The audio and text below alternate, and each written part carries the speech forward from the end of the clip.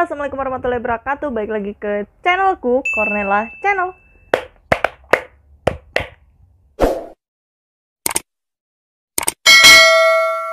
Oke, sebelumnya selamat tahun baru, selamat tahun 2021 untuk semuanya. Semoga tahun ini kita lebih giat untuk memulai investasi. Oke? Oke, untuk yang belum mulai investasi baik itu reksadana atau saham, segera ya sebelum kalian menyesal karena kalian gak memulai investasi. Oke, jadi di video kali ini aku mau bahas tentang reksadana karena videoku yang sebelumnya adalah pembahasan tentang saham, jadi kali ini aku mau bahas tentang reksadana. Nah, sebelum itu aku mau ngucapin ke teman-teman selamat yang udah melakukan investasi reksadana maupun saham. Dan aku lihat viewsku di pembahasan tentang reksadana yang ini itu lumayan banget. Viewsnya udah lebih dari 4000 dan komentarnya hampir 300 dan di situ komennya pada uh, ngasih kode referral mereka untuk bisa dipakai oleh orang lain biar bisa dapat cashback. Nggak apa-apa. It's okay. Aku selalu buat teman-teman dan sekarang aku mau bahas tentang kenapa pilih reksadana dibanding saham. Jadi judulnya adalah Why Reksadana Not Saham. Oke, jadi di pembahasan ini aku ada tiga poin. Sebelumnya aku mau cerita dulu atau sedikit ngasih tahu juga buat teman-teman yang belum tahu kenapa munculnya reksadana. Jadi kan instrumen uh, investasi itu ada banyak. Salah satunya yaitu adalah reksadana. Nah, jadi reksadana ini muncul karena ada tiga poin kenapa dia dimunculin. Jadi orang-orang pada bingung harus memulai investasi mana karena dia tidak punya tiga hal ini. Yang pertama, waktu. Yang kedua, pengetahuan. Dan yang ketiga, modal yang banyak. Nah, makanya muncullah reksadana ini untuk membantu kaum-kaum pemula yang tidak mempunyai tiga poin ini. Nah, video ini juga aku bakal ngejelasin kenapa kalian harus pilih reksadana, terutama yang tidak punya tiga hal ini. Oke, jadi yang pertama kita bahas waktu. Jadi, waktu ini maksudnya kan kalau reksadana kita hanya melakukan top up atau kita melakukan transfer untuk pembelian reksadana kita dan ini udah full online kan. Nah, tapi kita tidak punya waktu untuk mengelola investasi kita ini sendiri. Jadi, makanya dibutuhkan seorang manajer investasi. Nah, manajer investasi ini yang mengelola investasi reksadana kita baik itu pasar uang, saham maupun campuran.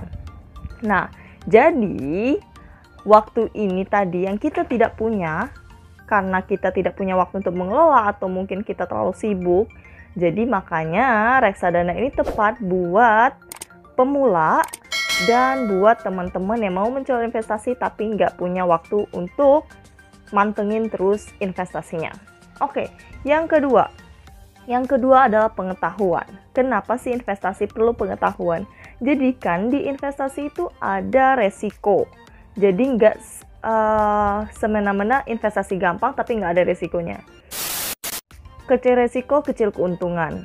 Tinggi resiko juga tinggi keuntungan. Jadi teman-teman tinggal pilih aja mau yang kecil resiko tapi kecil juga keuntungan atau yang tinggi resiko tapi tinggi juga keuntungan. Nah, makanya di sini dibutuhkan pengetahuan yang baik. Makanya untuk jadi investor yang jam terbangnya udah tinggi itu kita harus haus untuk belajar tentang investasi, terutama tentang reksadana. Kita harus menggali lebih dalam tentang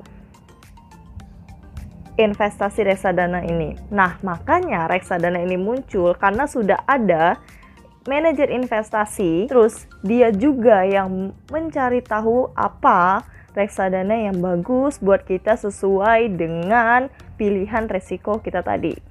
Terus yang ketiga, yang ketiga ini kita nggak punya modal banyak. Memang sih kalau pengen keuntungan yang tinggi kita juga harus punya modal yang banyak. Tapi buat kayak kaum pemula, semisal pelajar atau mahasiswa atau uh, orang yang baru bekerja tapi ingin mulai investasi ini cocok banget buat dilakukan. Karena investasi reksadana itu nggak perlu modal banyak. Kita bisa mulai investasi reksadana mulai dari 100 ribu aja. Nah, jadi kenapa kita pilih reksadana dibanding saham? Karena kita punya karena kita nggak punya tiga hal ini tadi.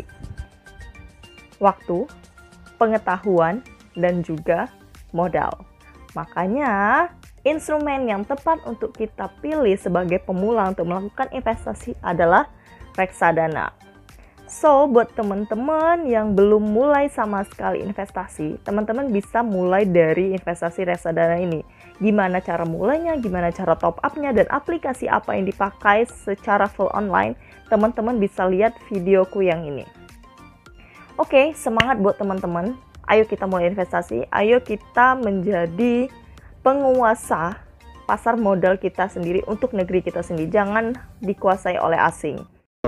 Oke, okay, sekian aja video dari aku kali ini. Semoga bermanfaat dan semoga teman-teman gak bingung lagi harus pilih reksadana atau saham.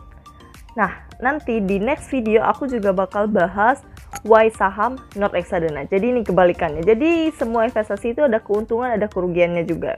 Ada plus, ada minus. Jadi next aku bakal bahas juga apa kelebihan saham dibanding reksadana. Oke, okay, jangan lupa like, jangan lupa komen, dan jangan lupa subscribe.